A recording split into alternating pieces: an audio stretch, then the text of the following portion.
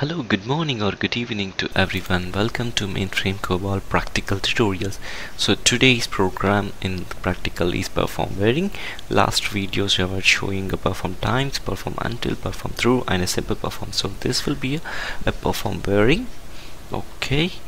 So now we will connect to the mainframe terminal and then I'm going to show you how this perform varying works.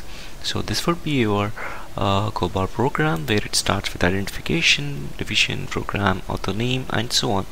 And uh, in procedure division you are trying to call this paragraph using varying and uh, you have an index created from one by one. You're trying to increment the value until WSI is greater than 5 so the important points you need to refer uh, here is uh, varying you need to use if you have to you're trying to increment the value here itself in the perform statement.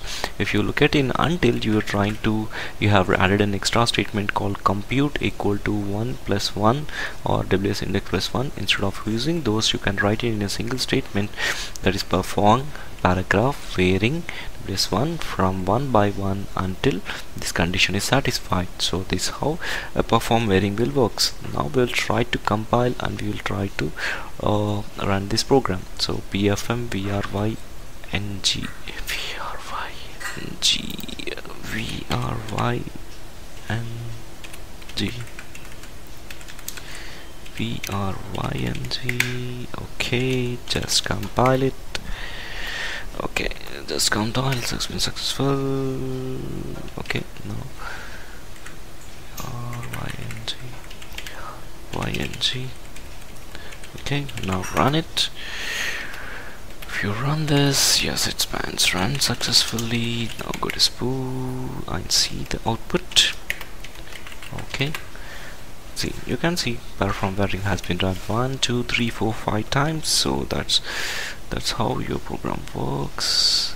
Okay so this paragraph has been entered five times. So the so what are the uh, various things we have seen was many times we have seen like perform perform with varying perform through perform until and perform times right?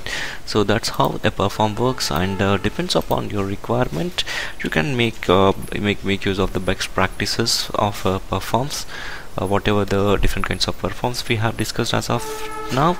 So if you like this video kindly please subscribe to my youtube channel share or comment on my youtube channel. Thank you so much and have a great and pleasureful day